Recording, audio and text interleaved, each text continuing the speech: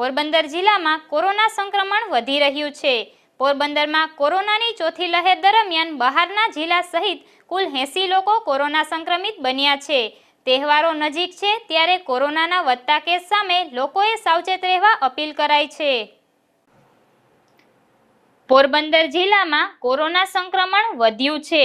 કોરોનાની ચોથી લહેર તારીખ સોળ જૂનના શરૂ થઈ હતી. તે સમયે ચાર માસ બાદ એક કેસ પોઝિટિવ આવ્યો હતો. ત્યારબાદ અત્યાર સુધીમાં એંસી લોકો કોરોના પોઝિટિવ નોંધાયા છે. બહારના જિલ્લાના લોકોને બાદ કરતા પોરબંદર જિલ્લામાં કુલ સત્તાવન લોકો કોરોના સંક્રમિત થયા છે. છેલ્લા એક અઠવાડિયામાં જિલ્લામાં કોરોનાના ચોવીસ કેસ નોંધાયા છે, જેમાં એકથી પંદર વર્ષની વય ધરાવતા બાર બાળકોનો રિપોર્ટ કોરોના પોઝિટિવ આવ્યો છે. આ લહેરમાં આમ તો વધુ પડતા લોકો હોમ આઇસોલેટ છે. આમ છતાં વધતા જતા કોરોનાના કેસ સામે લોકોએ જાગૃત બની સાવચેતી રાખવી જરૂરી બની છે. હાલ કોરોનાની ચોથી લહેર તેમજ ચોમાસું હોય જેથી શરદી અને ઉધરસના કેસ વધુ જોવા મળે છે. આગામી દિવસોમાં જન્માષ્ટમી સહિતના તહેવારો આવી રહ્યા છે. ત્યારે લોકોએ આ બાબતે ગંભીર બની સાવચેત રહેવું જોઈએ. તેવી ભાવસીજી હોસ્પિટલના આરએમઓ ડોક્ટર વિપુલ મોઢાએ અપીલ કરી છે. ડૉક્ટર વિપુલ મોઢા આરએમઓ ભાવસીજી હોસ્પિટલ પોરબંદર.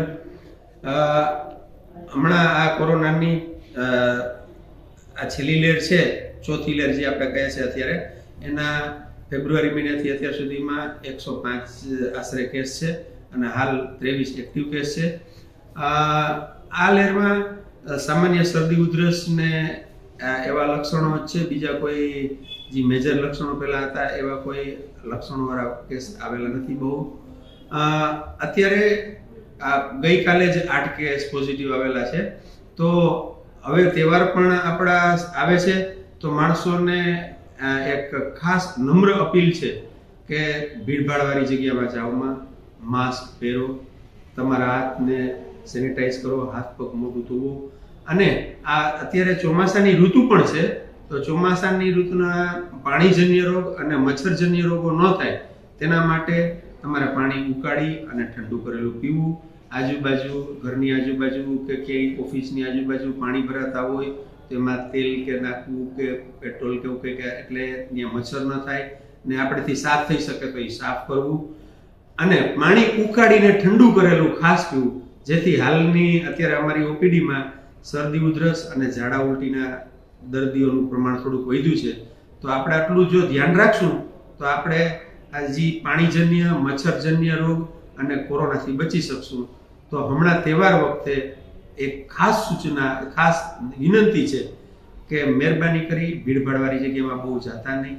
હાલ તકે માસ્કનો ઉપયોગ કરજો અને સેનિટાઈઝરનો કોરોનાની ચોથી લહેર દરમિયાન ત્રણ માસના બાળકથી લઈને વૃદ્ધો પણ સંક્રમિત થયા છે. હજુ પણ જિલ્લામાં દિવસે દિવસે કોરોનાના કેસો વધતા જાય છે.